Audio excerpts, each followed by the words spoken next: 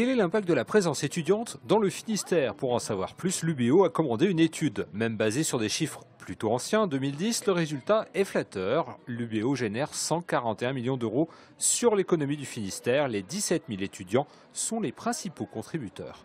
Donc 530 euros de dépenses moyennes par mois, euh, en multipliant par le nombre d'étudiants. Donc on arrive à une dépense à hauteur de 78 millions d'euros euh, dans l'année.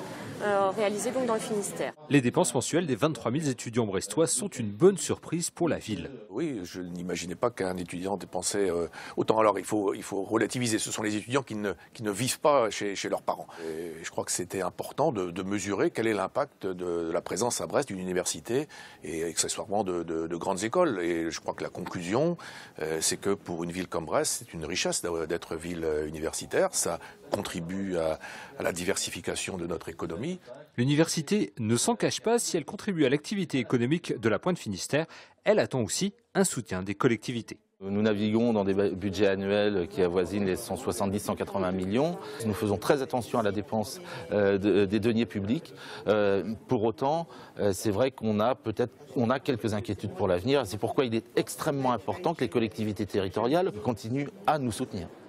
Et l'université crée un emploi lorsqu'elle accueille quatre étudiants, d'où l'importance de maintenir les effectifs constants à la Pointe-Bretagne.